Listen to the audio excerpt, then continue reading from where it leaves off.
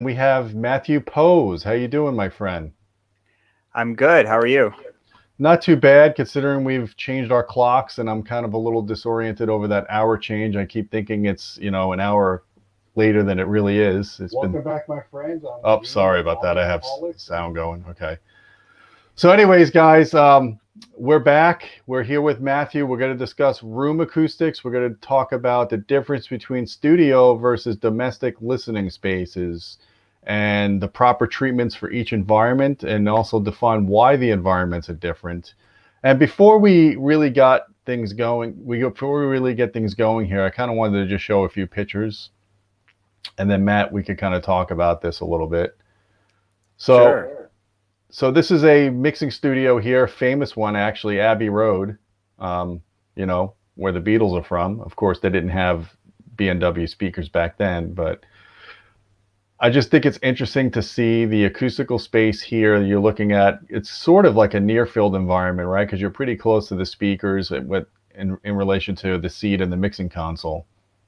Maybe that's probably referred to as either midfield or far field. To be honest, um, those mixing, uh, it's probably perspective, but um, the actual console there is much deeper than you probably realize. Um, near field would actually require the speakers be right up on the console.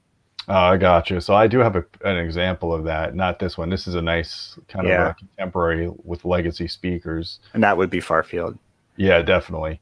Um, so where is it? I had one. I guess I think I just saw it. I don't know. That one with the Vicoustics. No, you had it right there. That one. Oh, this one. Yeah. So this is kind of more of a near field, right? I mean, it's pretty. it is. Yeah. Yeah. So there's different goals between um, you know these kind of listening spaces. I think we should talk about, and and I noticed there's people that say, well, what shouldn't we do what they're doing in the recording studio at home? Because we want to simulate the acoustics and we want to ha- actually have the same speakers and try to lar- replicate everything that's happening in the recording studio in the home when really that's usually not the case. And sometimes it's not compatible with what you're doing in a home environment. So like for example this is a home environment. This is uh, some big jtr towers right? Hmm two rows of seats. I mean you can see that has a lot of absorption on the sidewalls here. So yeah so i wanted to and this is really nice. I love this star pattern. This is something i want to do in the next home theater i build hopefully. Um, i just think that looks awesome. But let's uh let's go back to not sharing screen so yeah why don't we talk about this a little bit and why are the goals different between a mixing studio a production studio and a home environment Well, so when you're uh, putting together a studio, there's different spaces within that studio that serve various purposes. There's a live room where uh, the actual performance takes place, the production of music in terms of the singing, the uh, uh, playing of instruments, things like that. And those rooms typically are designed to have acoustics that are favorable for recording the instruments themselves. They usually are adjustable because the kinds of acoustics you want depends on what it is you're recording um, and they're usually very large, uh, significantly larger than a, a home domestic living space would be. And so the way in which those are treated is quite a bit different than the way you would treat um, pretty much anything where you're trying to listen to music. Uh, there's another space often seen, the singing booths. Those actually are basically like anechoic chambers. They have no reflections in them. That's in order to get a very clean voice. The stuff that people I think think of when they think of studio uh, is uh, what's referred to typically as the mixing room. And in that room, one of the main purposes of that space is to allow the engineer to hear in detail without distraction everything going on in the mix. And so, if there's a lot of acoustic, uh, room acoustic interactions going on, even though those may be a part of the, the natural reproduction of music, they can be distracting to the engineer and make it difficult for them to be able to hear into the mix. And so, it's become trendy basically for the design of studios to get rid of any kind of room interactions. And they do this by creating an area around the engineer um, or engineers where uh, basically there are no reflections. And this minimizes these um, problems that can be created as a result of that.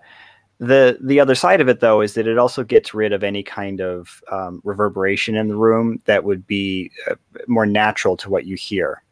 So its purpose, as I said, is basically to make the room not distracting. I refer to it as sort of music microscope. But to compare it to what you're trying to achieve in a home, I think misunderstands what we're trying to do in a home. So I would argue that the purpose of a home listening space is the accurate reproduction of music. Uh, I should say the accurate reproduction of the musical event that is recorded there. Whereas the studio is trying to accurately reproduce the details of the music contained within the musical event, but it gets rid of intentionally some of that musical event, which would be the room itself. And so uh, that you know, to try to conflate the two, I think really can end up leading to a room that doesn't necessarily sound good. Um, and we can talk about this later, but there's actually research to support that notion as well. Yeah, and you know the other thing I noticed when I spoke to several mixing engineers, some of the famous ones like Elliot Scheiner, who did the mm-hmm. Eagles, and he's he did the first Porcupine Tree um, DVD audio disc back in the day.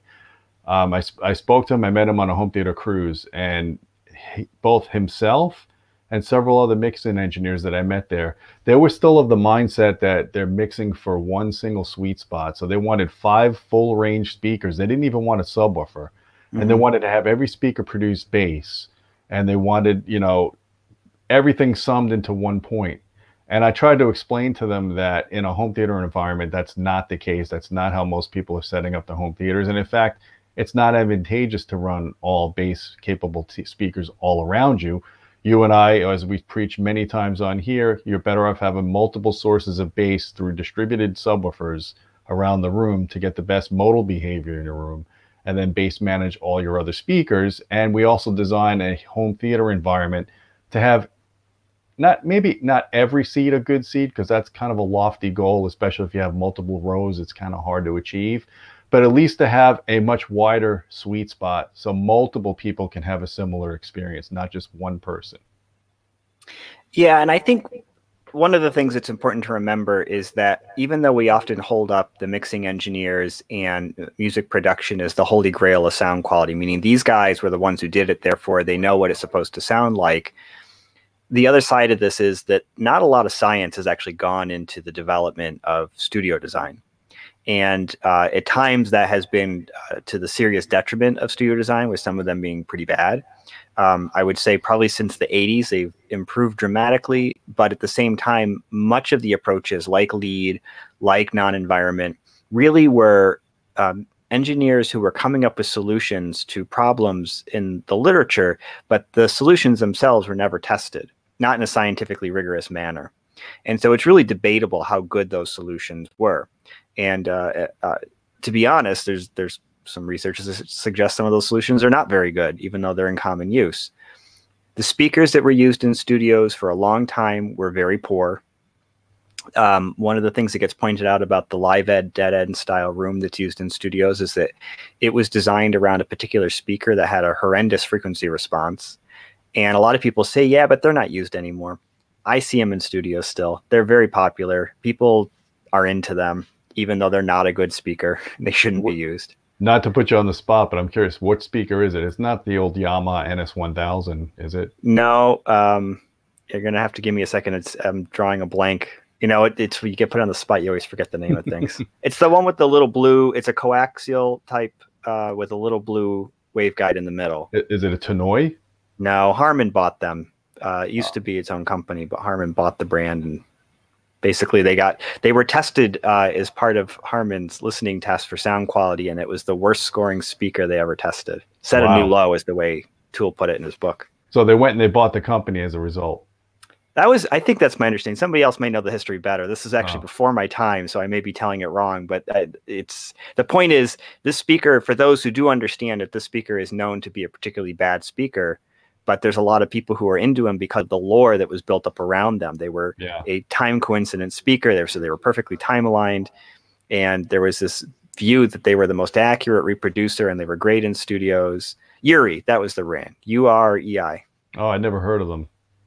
So uh, the point was they actually were a really bad speaker.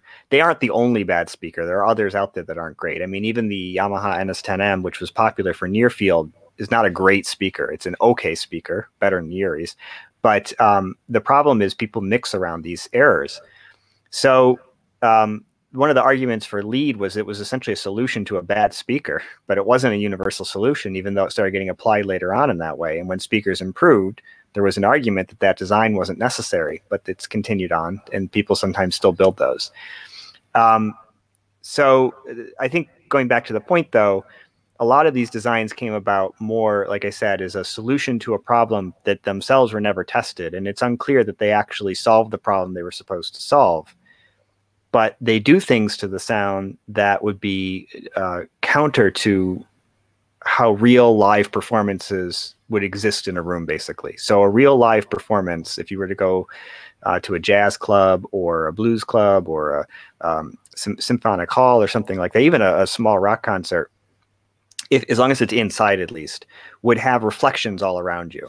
And the ratio of reflected to direct energy um, would tend to be almost even with direct to, uh, I'm sorry, to reflected to direct energy. And um, the delay on the reflections would be pretty high because usually the spaces are pretty large. And all of those reflections, basically, which mix with the direct sound, tell our brain what kind of room we're in. So they help us to kind of understand that we're in a real live space. And obviously they're coming from all around us with a lot of those reflections coming from behind us in what's known as a reverberant field. In our small rooms that we listen in we have reflections too.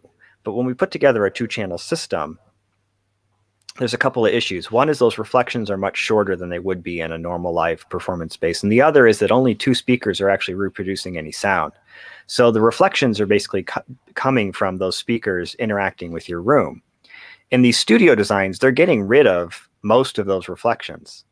And as a result of that, you really don't have those cues. So, like in a non environment room, they're actually intentionally trying to design basically an anechoic space to listen. So, there's no reflections in those rooms at all. So, real quick to interrupt you on that point, someone asked this question, which I thought it would be good to answer.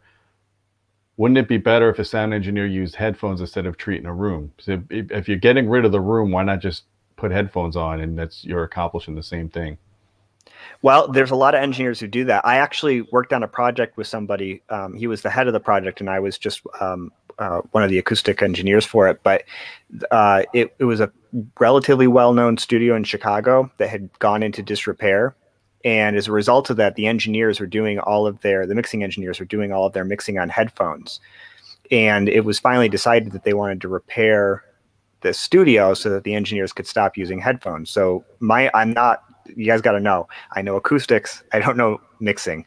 But my understanding was that the feeling was that that was not an accurate way to mix uh, everything. Um, now the engineers were telling me that even though there were deficiencies using headphones, they adapted. They just they knew in their head whatever they heard on the headphones um, uh, they could fix in the mix to sound right on speakers. But you know, a couple things that would make sense to me based on my knowledge of acoustics would be that the headphones would not as accurately reproduce the sound stage.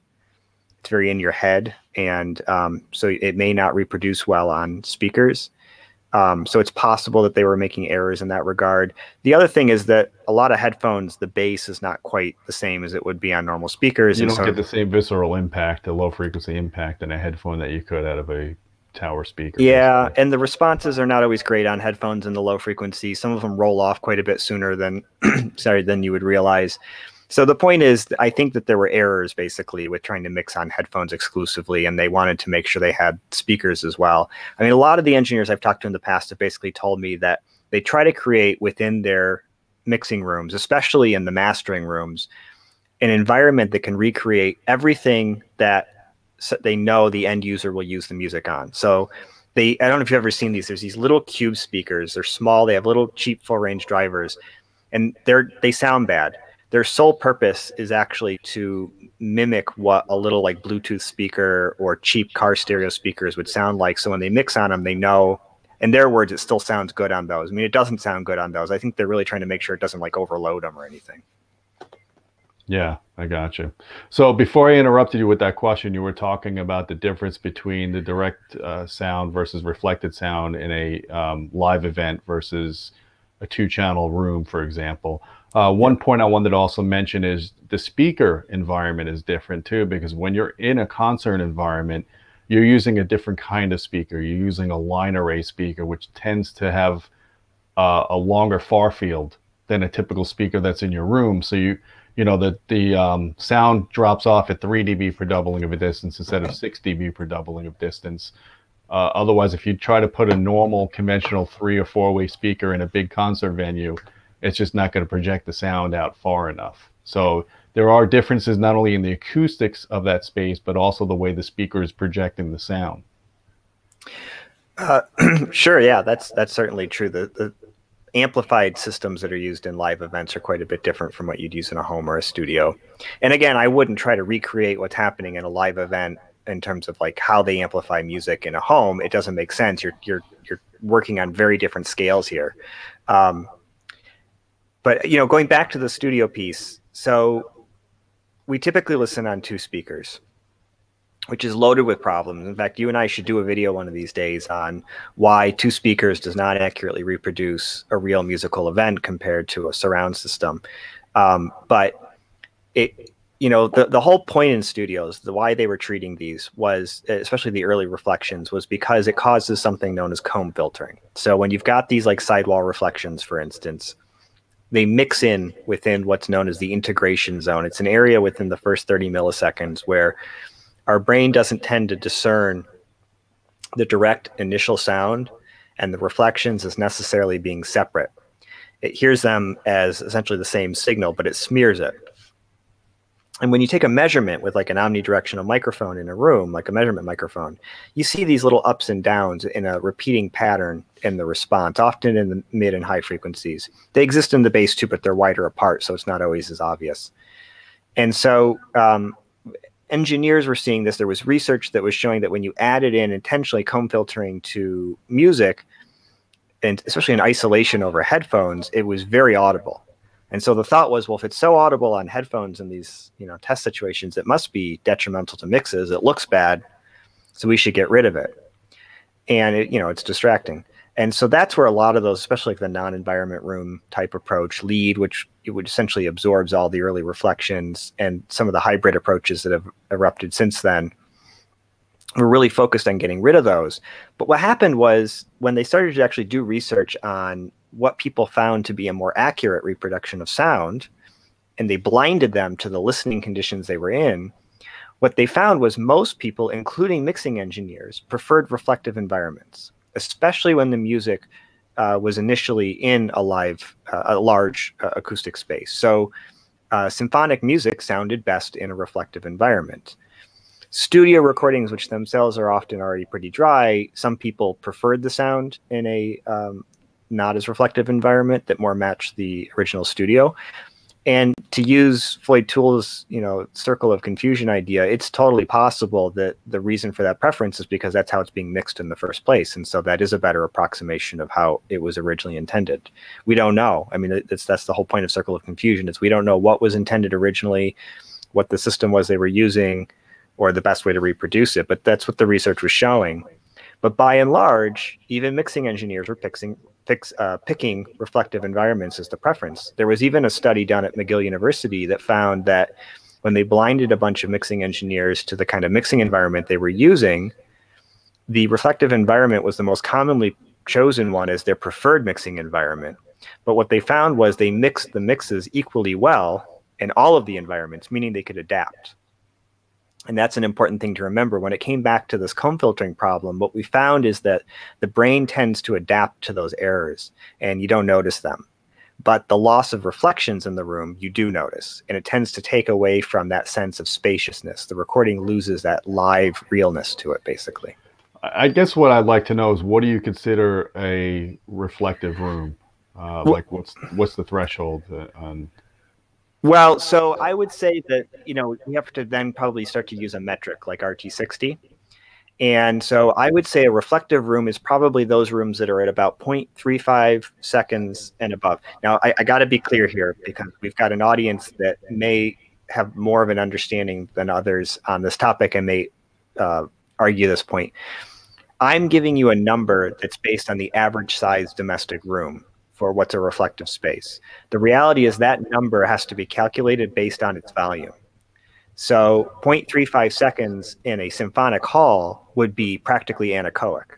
but 0.35 seconds in a small domestic living room would be kind of the middle point between what we might call a dry, low reflection room in a more reflective space. I would say 0.5 to 0.6 seconds in a normal domestic space would be pretty reflective. That would be to the point where you'd have audible reverberation in the room. Floyd Toole mentions in, I think, an article he wrote for you, and maybe a, I think it's in his book as well, that he uh, previously in, in Canada had had a listening space that he really liked for classical music using uh, an omnidirectional speaker and it had, I believe, it was about a 0.5 second RT60 time, which was intentional for him to better, more accurately recreate that. And I'll just say my own experience is the same that those more reflective environments tend to better recreate things like large symphonic performances. Um, I would say that drier rooms, the, the ones that are more like what you have in a recording studio, tend to fall somewhere between around 0.15 and that 0.35 kind of middle threshold with 0.25 or so being you know pretty typical. My theater is 0.25, for instance. Um, and even though we're mostly talking about two channel, I just mentioned typically uh, you would want a surround system to be on the lower end of that scale because the surround speakers are reproducing the reverb, so the room doesn't need to add as much. I got you. So, you know, one thing I did notice when I compare uh, normal rooms that are not acoustically treated versus a room that's pretty heavily treated, is you can hear more imperfections in a speaker in a very controlled listening space.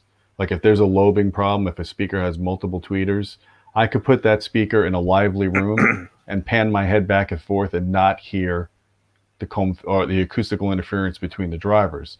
But then I stick that into a room that's more acoustically controlled and there's a lot lower reverb time, and you mm-hmm. can start hearing frequency aberrations when you stand up and down or go back and forth. So is it because the livelier room is kind of filling in the gaps and you're hearing the reflections that are kind of just blending it all together and you just don't get as much resolution? Are you losing resolution and at the same time you're gaining maybe a fake sense of spaciousness? I don't. A couple of things. So, one is I would say reflections are not fake spaciousness, it's real spaciousness. It's just fake in the sense that you're not actually in the real acoustic environment of the recording. Um, fake would be like a DSP trick. Basically. Yeah, yeah, it's bad choice. Bad choice of words in the in the I, era of DSP. I just know some people are probably going to latch on to everything we're talking about here, and I want to make sure they understand that those reflections are actually how you create spaciousness. That's why we would encourage keeping some of them at least. Uh, in terms of what you're talking about, yes, actually, reflections do fill in imperfections, including the crosstalk cancellation that takes place when two speakers are working uh, to produce a, a, phantom center image, there typically is a, a, fairly sizable, like as much as 10 decibel dip at two kilohertz. So um, having all those reflections fills that in when there's errors in the response, like you're mentioning off axis, then same thing. You start to see some of that get filled in by the reflections in the room. On the other hand, if the room is absorbing a lot of those reflections, then they're gonna those imperfections in the response are gonna be more noticeable. That's also why. When the other side of this is that, for instance, when the ITU des- developed a standard for rooms to use to uh, be able to to essentially pick apart music or equipment and detect flaws in it, that room was designed not to be like the best listening room. It might be, it probably is a very good listening room. I've actually built some to that standard before, but um, it's uh, but it, that was not its purpose. Its purpose was to be that sort of musical microscope. So it gets rid of reflections that would otherwise distract you from those imperfections, um, so that you can hear them. Whether that's desirable or not depends what you're trying to do. Obviously, if you're doing research uh, and you're trying to intentionally pick apart problems, then yes, that's a room you would want. In your home, I think it just depends on your goals. Understood. So you said something that was I, that, that I think is pretty important, but we kind of glossed over before. If you're comparing two channel to multi channel, the goals of the acoustic space change. You actually need essentially more treatment in a room with more speakers. Is that what you were saying? Because the, the extra yeah. speakers are creating the acoustical uh, landscape for you already.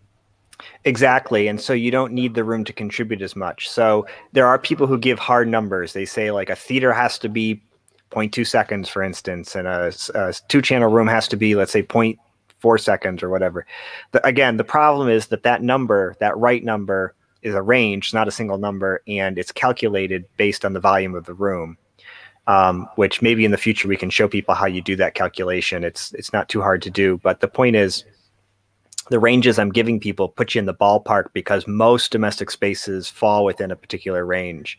They're all small acoustically, and it allows for fairly similar and consistent RT60s. But basically, the bigger your room is, the higher the reverberation time can be and still sound, let's say, dry you know, to have low reflections. But surround systems need to be on the dry side for its volume um, because the surround speakers are reproducing that. Now, here's the problem.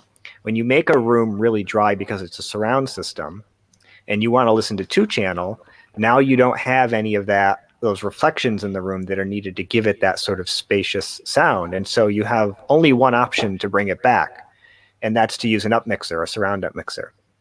And I don't know about about Eugene, but you know, my experience in the past is that they can be very hit or miss. Some of them are great, some of them are not. And I also find some of the great ones are great with some music and not with others. So I find myself at least turning it on and off a lot.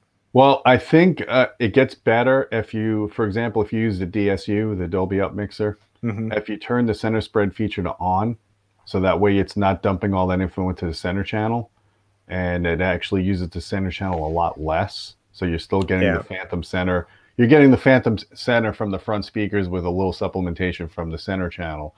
But if you if you turn on the DSU and you put on center spread, and in some processes you can actually lower the surround levels, you could shift the balance more towards the front of the room instead of the rear of the room. I think it works better for more music than it does less at this point. I mean, back in the day when we only had Dolby Pro Logic or Dolby Pro Logic 2, yeah, I would say the up mix up mixes were hit or miss for two channel music. But I think we're at the point now with the DSU that it's I don't there's very few instances where I prefer just straight up two channel anymore because I have yeah. my system really well balanced for using the DSU. Well, and I I will say um, I, have heard people disagree with me on this, and I'll just say to each your own. For me, it's much easier. Either I'm much pickier, or it's easier for me to pick apart flaws with music than movies. Yeah. And so I find with movies that it's not that hard to get a system that sounds really good to me, where I feel like the surround speakers are um, meshing well with the front speakers, that there's a good balance, and the effects seem to surround me in a way that it's it's not necessarily discernible as like good front speakers and some you know cheap surround speakers. Everything seems to go together. With music, it, it feels like it's really difficult and important to ensure that the mix is right, that the surround speakers are tonally matched to the front you know them to be the same speaker, but they have to sound similar. Otherwise, I find that the mixes seem to be disconnected as it starts to move to the back of the room. So, um, and and this goes back to the acoustics issue. I think that if the acoustics in the room haven't been well handled with surround systems, the surround speakers themselves become more distracting and more noticeable because of the added reflections that are created by having those operating as well. Yeah, there's definitely something to that, especially now in the advent of Atmos, because now you're asking people to basically have six to eight speakers relatively close to the listening space because you have the side back channels and the and the top height channels. That's a lot of speakers firing at you from relatively four or five feet apart from each speaker. So if you've got a lot of reflections in there, I've done experiments where I've used test tones, pink noise, and there are times where I can't tell if the speaker is on the side of me, behind me, or up the ceiling just using those test tones when I'm sitting in the front row. Because if all those speakers are so close together and the room is not acoustically uh, well controlled, you can't tell, you can't perceive the direction, the true direction of that speaker. Yeah. So it, I think the the lesson here for everybody then is that with surround systems, often you do need to do more treatment. I would still stand by something I had said in a previous video that I think is important, which is that that doesn't necessarily mean you have to treat the first reflection points. What it means is that you have to reduce the overall reverberation time of the room, and those are two different things. So, so I'm wondering if you want to have your cake and eat it too, and you want to have a good two-channel environment, and you want to have a good surround environment why wouldn't we recommend that you put more absorption in this the seated area around you and behind you and then leave behind the speakers and the side of the speakers more diffusion? That way for two channel it doesn't sound too dead. You're still getting your early reflections from your front channels and you're providing enough absorption in the listening area so all those speakers aren't just firing and bleeding all over the place. That would be the opposite of lead. Um, making the front end more lively. Um, although I guess actually your listening space, so lead makes the area dead around the listener, and that's what you're saying.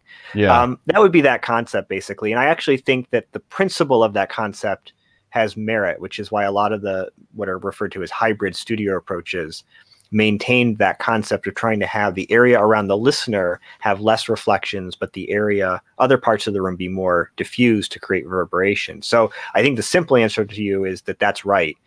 The difference is that where you sit in a room relative to how you'd set up a studio is pretty different. So where you would place treatments also differs.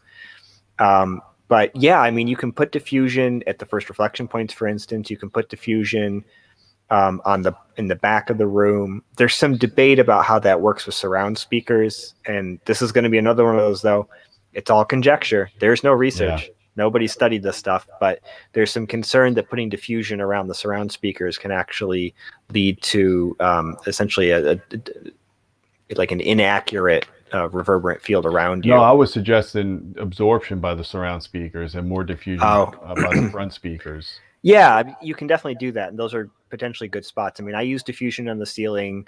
Um, one of my mentors in this industry, Earl Geddes, has, has often uh, been a big proponent of using diffusion on the ceiling.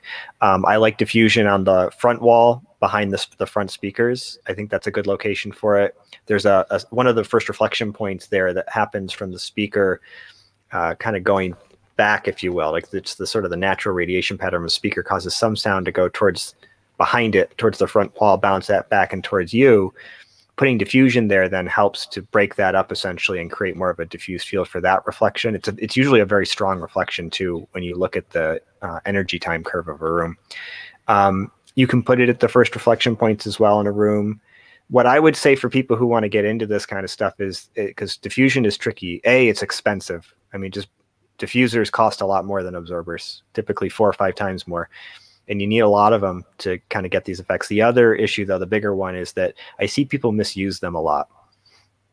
Diffusers, when you sit too close to them, tend to create what I would describe as a phasey effect, very similar to, um, for instance, if you wired your front speakers out of phase and you played something, you you know, it's like it sounds like it's coming from sort of outside your head, but you can't really pinpoint where it's coming from.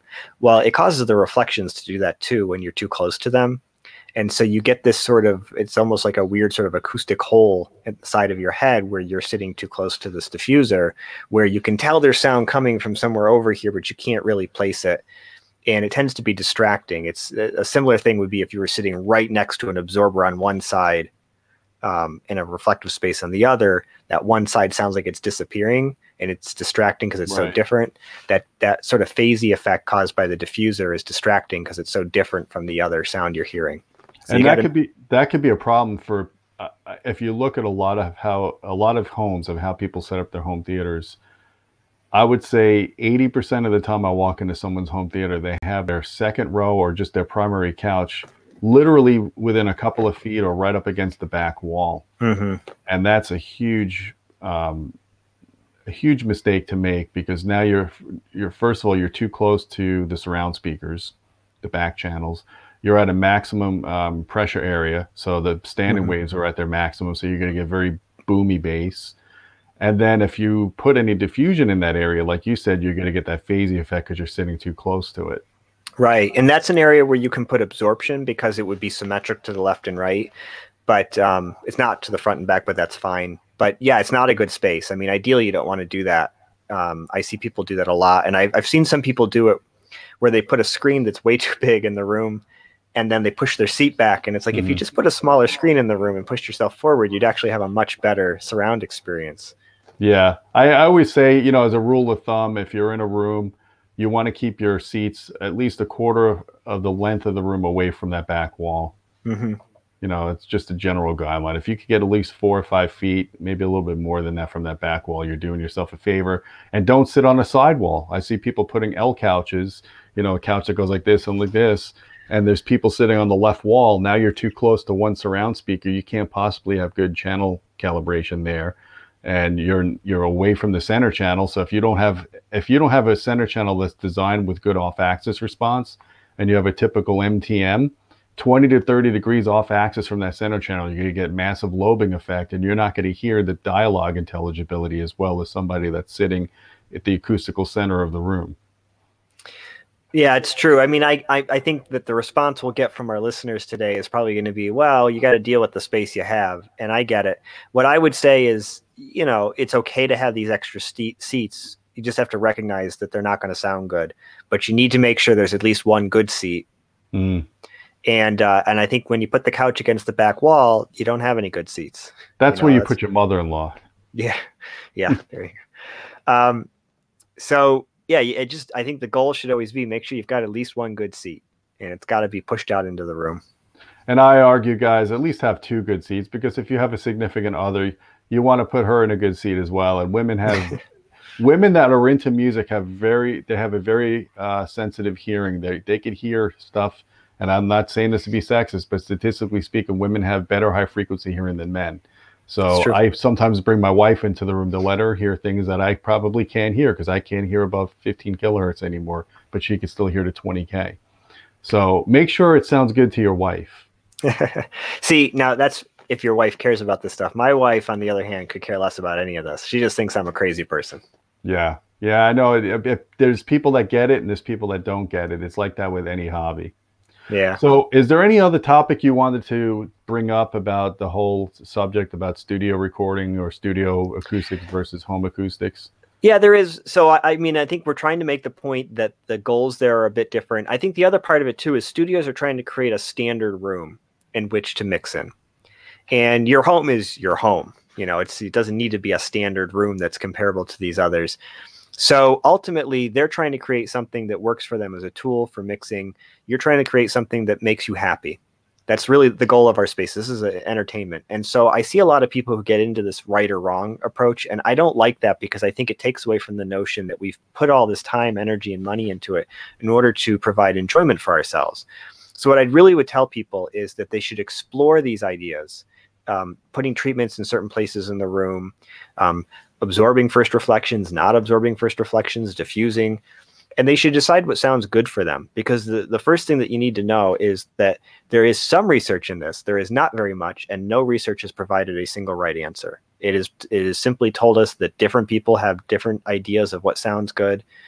Um, you know, if you want to know what's technically closest to the real live musical event, then a more lively room with more reflections would be technically closer to that. But if you don't like that, then that's it's your room and your equipment. Well, and I'll and I'll bring up another point that we should probably do a separate video on. I do think part of the reason why people have different preferences towards having a room reflective or not reflective also has to do with their hearing acuity, uh, uh, their hearing capability. So Mhm. as you get older and your hearing becomes diminished, you have a harder time discerning, you know, reflections or you have a harder time discerning like noisy events. So when you're young, you could go to a party, you could hear someone talking right next to you, even though there's a lot of loudness around you. And as you get older, it just kind of all bleeds together and you get disoriented. So I would argue that there's probably a case for people that have diminished hearing that would prefer a more dead room because they're going to be able to hear the detail better in the sound. Even though it's a more dead room, they can boost the highs and the, the reflections won't confuse them as much. there's actually research to support that. So as your hearing becomes um, uh, less good, basically, you become less capable of uh, blocking out other sounds, basically. So your brain becomes less able to deal with all these reflections and recognizing what it is supposed to pay to, uh, what it's supposed to pay attention to, the selective attention ability, and not. It's that that cocktail party effect that we sometimes refer to seems to start to fail. And so, uh, absorbing a lot of those reflections um, can help make the uh, people's voices more intelligible, but it also helps your brain focus more on um, people that are talking to you, or in the case of a listening room, the music or the movie. So, definitely, as your hearing goes, as you get older, having a room that's less reflective is beneficial in that regard. And, and in this case, it's not about being more accurate to the real event. It's about being more comfortable and more enjoyable. So one last question I have for you: Is this a myth or is there truth to it? Does there come a point where if you put a loud, a really big sound system in a room, does there come a point where when you're putting so much SPL in a room that you may have to acoustically treat that room even more because you could overload that room with sound? Okay. uh, I've actually never heard that myth before. I hear people ta- I hear people say that too much. Like often is your speakers are too big for the room, So you're going to overload the room with sound. So you need to put more absorption, or you put you need to put you know you need to tame the room more because you got so much more loudness coming out of these speakers. I would say at that point, if you're, you're just going to blow your ears out anyway, so it doesn't matter. Yeah, it's mostly myth. So I'll say this: depending on the design of the speakers, there can be a minimum distance for the speaker to act as a point source. And so if the speaker is too large for the space, it won't sound good. But most speakers, even pretty big ones, the point source point, if you will. Yeah, within six is, to eight feet. Uh, easily. And so it ends up making it so that that's not a major concern. There is this is not a too much SPL for the room so much. It's it's totally a room acoustics problem. Bookshelves could cause this problem if they had enough bass, but rooms that are very very tight and I've mentioned before the type of room that best equates to this typically are in basements when people do like especially soundproof theaters in a basement can build up a lot of bass.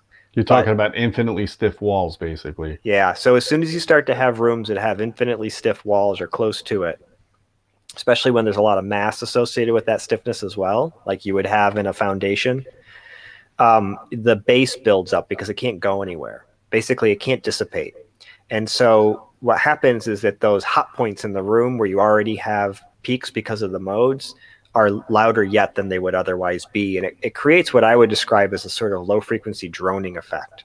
Right. And in that particular case, the only the multiple subs won't fix that. All that does, the only thing the multiple subs do is it helps to even it out so that there's not like ringing at particular frequencies necessarily. But what happens is the bass still is decaying over a much longer period of time than it should which can still not sound good. And so in those types of situations, there's two things you can do. You can turn the bass down. Um, but for those of you who don't like doing that, I'm one of those people, you have to absorb it. So in those kinds of rooms, you end up having to add potentially a lot of bass traps to, to deal with that problem.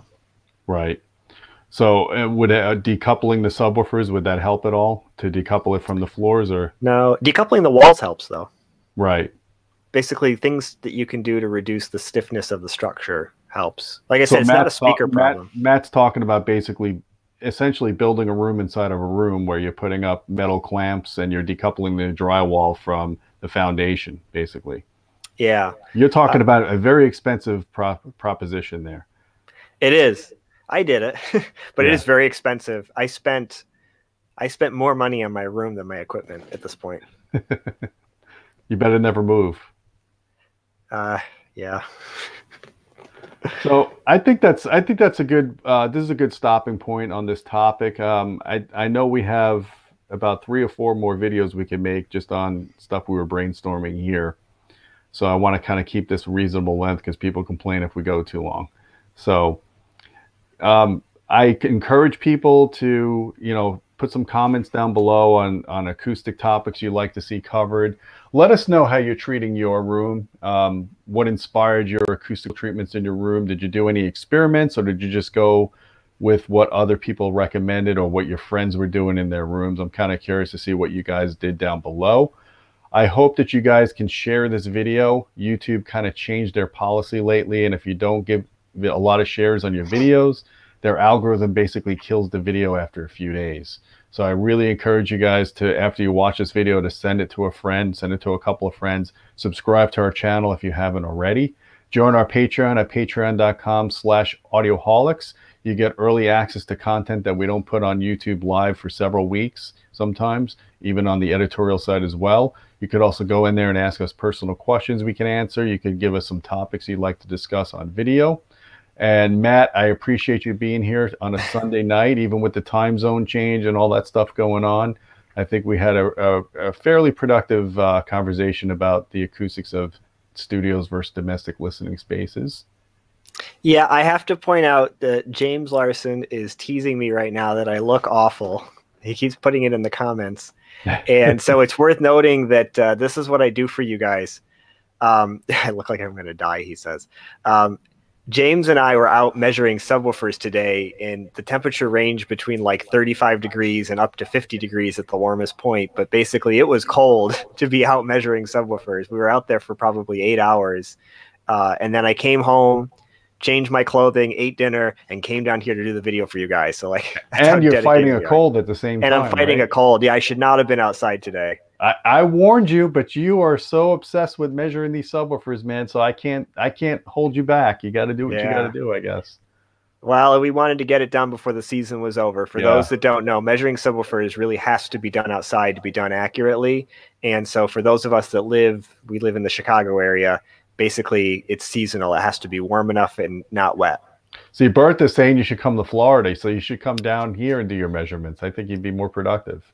Yeah, Oh, you- like 80 and 90 degrees, no matter what time of year it is. there's probably humidity problems then for the test, but I would love to. And I think I've told you I've I've debated moving to Florida before, partly because you can work year round on this stuff. Yeah.